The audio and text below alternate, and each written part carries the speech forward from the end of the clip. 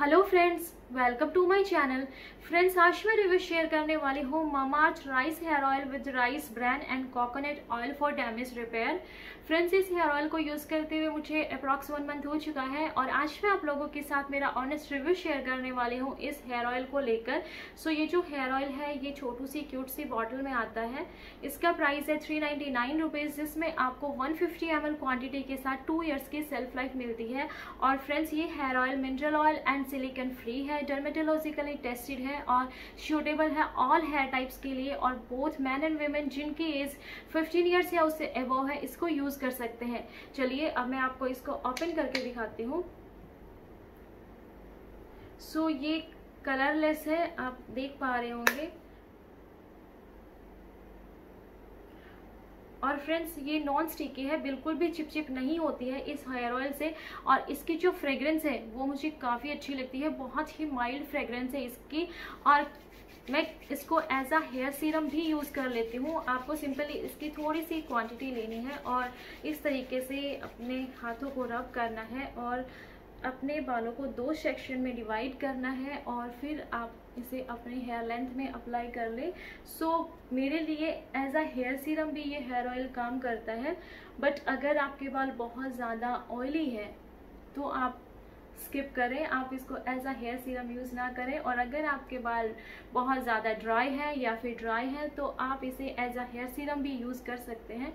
आप देख सकते हैं अभी मेरे हेयर सो so, मैं इसे एज अ हेयर सीरम भी यूज़ करती हूँ। इसके जो मेन इंग्रेडिएंट है, वो है rice bran and coconut oil और फुल इंग्रेडिएंट लिस्ट इसके बैक में दी गई है। इसमें भ्रंगराज एक्सट्रैक्ट है, आंवला एक्सट्रैक्ट है ब्राह्मी एक्सट्रैक्ट है आमंड ऑयल है castor oil coconut oil vitamin E है इसमें। आप फुल इंग्रेडिएंट लिस्ट इसके बैक में यहाँ पर देख सकते हैं।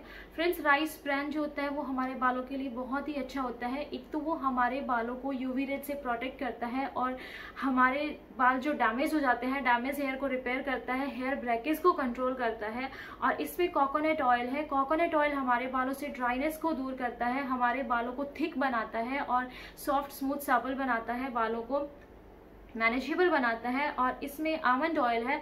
आमंड ऑयल भी हमारे बालों को डैमेज होने से प्रोटेक्ट करता है और बालों को सॉफ्ट स्मूथ बनाता है। हेयर फॉल को कंट्रोल करता है। हेयर ब्रैकेज नहीं होने देता आमंड ऑयल और इसमें है वाइटमिन ई वाइटामिन ई हमारे बालों के लिए बहुत ही अच्छा होता है, वो भी हमारे बालों को मॉइस्चराइज रखता है, उनको नरिशमेंट देता है और इसमें कैस्टर ऑयल है।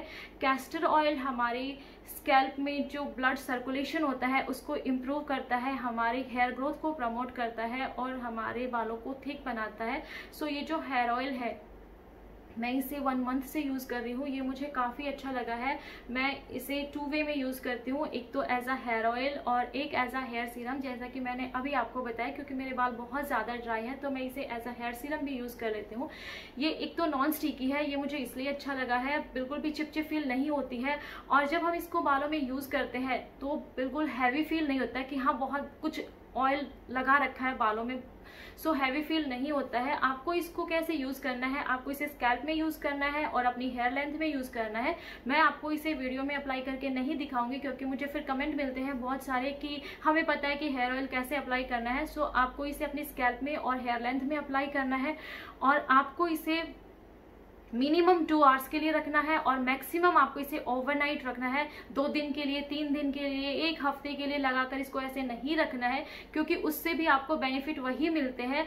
और अगर आप इसको ज़्यादा लंबे टाइम तक लगाकर रखते हैं तो आप कहीं बाहर जाते हैं तो डस्ट वगैरह आपके हेयर पे स्टिक हो जाती है और वो आपके बालों को डैमेज करती है। सो so फ्रेंड्स याद रहे मिनिमम टू आवर्स और मैक्सिमम आपको इसे ओवरनाइट रखना है। उससे ज़्यादा हेयर ऑयल को आपको अपने बालों में नहीं रखना है। और आप अगर बाल बहुत ज़्यादा ड्राई है, बहुत ज़्यादा ड्राई है या फिर नॉर्मल भी है तो आप इसे एज अ हेयर सीरम भी यूज़ करते हैं तो आपको इसकी मिनिमम वन ड्रॉप लेनी है सॉरी हाँ मिनिमम वन ड्रॉप लेनी है और मैक्सिमम टू ड्रॉप लेनी है, मैं भी कंफ्यूज हो जाती हूँ बताते टाइम सो फ्रेंड्स ये हेयर ऑयल मुझे काफ़ी अच्छा लगा है, इसके रिज़ल्ट मुझे पसंद आए हैं, ये आपके हेयर फॉल को कंट्रोल करता है और आपके बालों में जो स्प्लिटेंट्स होते हैं, अगर आप इसको कंटिन्यू यूज़ करते हैं तो वो स्प्लिटेंट्स नहीं होते हैं आपके बालों में और आप जब इस हेयर ऑयल को यूज़ करते हैं तो आपको इसे मिनिमम दो बार यूज़ करना है और मैक्सिमम तीन बार यूज़ करना है वीक में। ये भी कमेंट आता है कि हम वीक में कितनी बार यूज़ करें सो मिनिमम दो बार और मैक्सिमम तीन बार यूज़ करना है। ऐसा नहीं कि आपको रेगुलर इसको यूज़ करना है।